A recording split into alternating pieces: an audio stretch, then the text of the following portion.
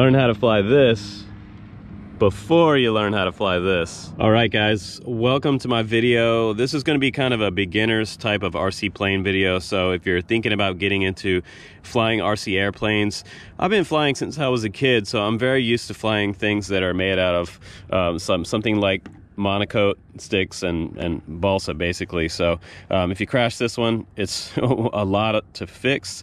And I hope you have some epoxy but this little guy is something you can take out on a morning like today where it's crystal clear. There's very low wind. We have under a 10 mile an hour wind. Right now it might even be something like five. And that's really what you want for this little plane. But uh, the Volantex Sport Cub is interesting because it does have a gyro built into it for stabilization. So it's gonna keep you level in beginner mode. And then you have something also called mid mode, which is gonna give you a little more roll and pitch, but it's not gonna let you go completely over into a barrel roll. You can go into expert mode and then you can do your full-fledged rolls, flips, and all that good stuff. Fly it upside down, and we'll see how much it's actually capable of doing. But um, for starters, we're gonna start out in beginner mode. We're gonna take off in beginner mode, that's full stabilization, and I'm gonna show you how it flies out here in the field. It also has another mode, which is kind of cool, called aerobatics mode. And I've seen this on a lot of toy quads, but never really on RC airplanes that much. When you press that button in beginner mode, it's gonna do like an automatic flip or barrel roll. So uh, we'll see how this little plane performs for around $60. I think it's going to be a lot of fun. For your first flight, if you can fly it in a nice open field like this with no trees around, or maybe even in a gymnasium for the winter, it's probably going to be the best place to fly this type of plane. But really be choosy about your weather and you'll have a much better experience. We're also going to start off today taking off into the wind so we get a little more lift in the wings. It's usually not a good idea to take off with a tailwind. So just one tip for the beginners.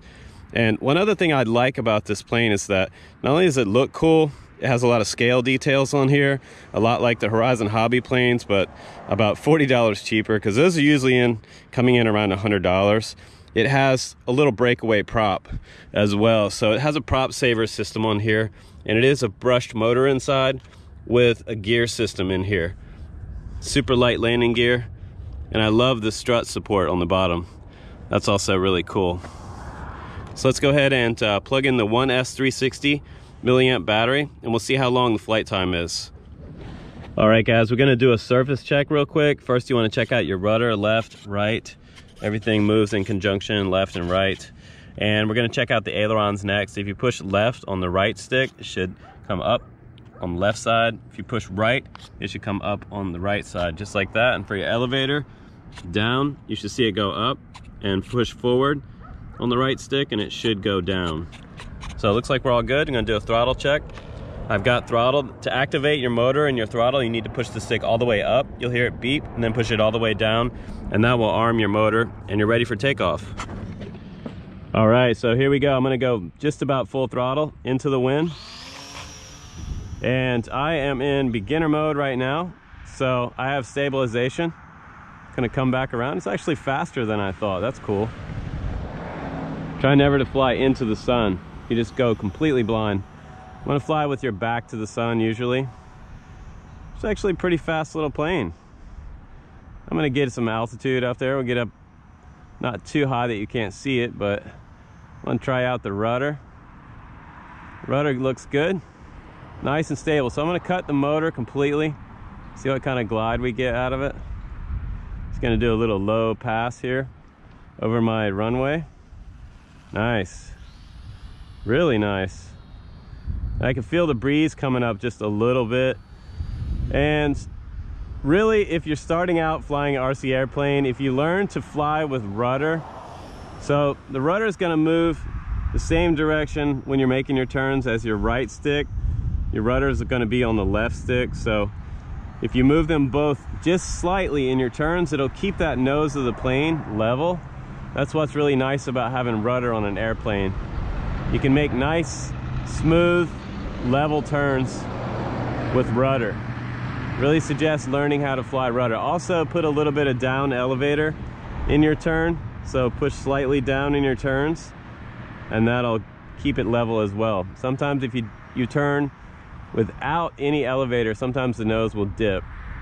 That's just a characteristic of airplanes. But I wonder how long this little 360 milliamp battery is gonna last, you guys. I'm gonna bring it down just a little bit lower here and we're gonna switch into the mid mode. So now it's gonna give me a little more authority in my surface on my ailerons and on the tail. So it's, it's moving around a little quicker now. It's turning a little faster, but it's not gonna let me roll. See that? I'm gonna give it full stick left and right with the right stick, full aileron, and no rolls. Now let's get up a little bit higher again, go back into beginner mode, and there goes the seagull. Everything leveled out, got really easy again to fly. So we're gonna get it way up high, nose into the wind, and we're gonna hit that, might be a little bit too high. Bring it back down so you guys can see it. We're gonna hit that aerobatics button, see what happens. And generally, if I'm gonna do a, a loop with an RC airplane, I usually put it nose into the wind so that I get a good amount of lift. So I'm gonna bring it up to about 20 feet, hit that button. Oh wow, did a barrel roll, nice.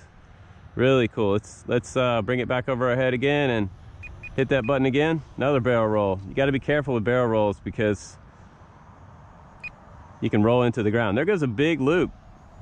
Wow, so you don't know quite what you're gonna get.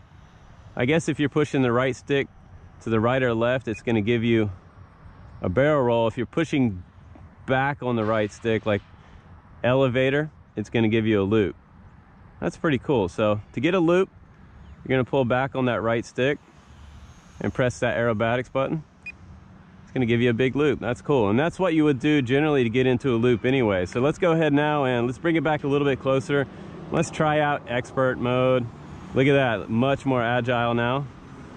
And this is something you wanna get into after you've learned how to fly all the other modes. And man, it's really, I'm at half throttle now, right, right now, by the way.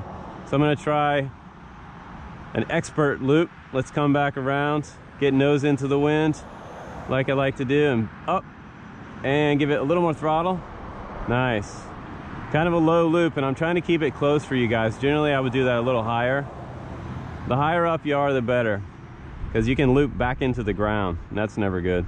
Full throttle all the way around. Big loop. Nice. Still in expert mode. This little plane is uh, quite agile. It's fun. Now, if you get a little bit disoriented, you can always flip your switch and go back into stabilize mode. So if you get a little bit nervous in expert mode, it's kind of like a bailout switch for you. So you can just come back. I'm gonna get in expert mode again. Say I was upside down. Let's see if it rights itself. Yep, flew right back around to level. That is cool. Now it doesn't have any return to home or anything like that, but this is just the basics.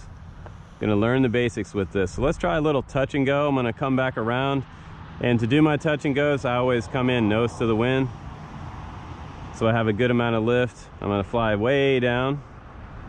And we're gonna do our little uh, touch and go here. Here we go, let's, let's get off the throttle a little bit and come down. Nice. Not my best touch and go in the history books, but I'm gonna try one up close so you guys can see it. Give it a little elevator back. Nice, just quick touch and go. And the Cub guys will really show off with their Cubs. They'll do one wheel touchdowns, touch and goes, and all kinds of cool stuff. Let's do one right here. Oh, almost hit the other plane. It is really is super, super lightweight. That's the cool thing about this plane. I, I think indoors, you'd be flying this thing at about quarter throttle, like in a gymnasium. But this, this space right here is about the size of a nice uh, size gymnasium. Just this little parking area right here. Man, I'm still going on the battery. This is awesome. So I think they have a good release. You know, I, I'm I'm always a big fan of Volantex RC stuff, and they're kind of like the uh, the Chinese version of Horizon Hobby. I mean, most of the Horizon Hobby stuff is made in China anyway, so uh, I mean, know where the factories are. Been friends with those guys for a long time, but it's always cool to have a cheaper alternative, but just as good alternative, in my opinion. Super durable, EPO style foam. Nice scale looks. I love the red and white combo. It's that classic Sport Cub look. It's not the long wing version. It's sort of a clipped wing Cub. And the Cub happens to be one of my favorite planes of all time. I love this little guy. So I think we're gonna get like a little over 10 minutes flight time out of a 1S 360 milliamp battery, which is actually really good. So Ultimate Trainer. Ultimate Trainer.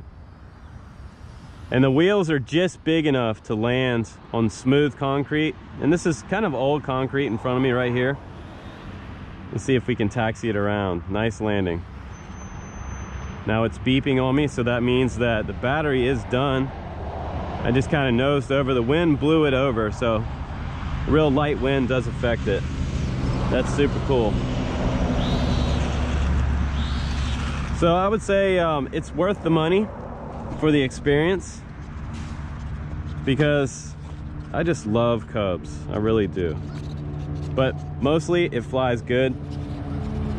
It flies nice straight lines and the beginner mode is just really excellent for new guys with all that stabilization. You can hear those gyros acting right now. I'm in beginner mode. It's actually quite a lot of fun just to fly it in stabilized mode like that. That is really cool. I love it. Thanks for watching, guys. I'm Justin Davis. Take care, everybody. Happy flying. Keep it up in the air, and you're good. On the ground, not good. We'll see you on the next one. Bye-bye.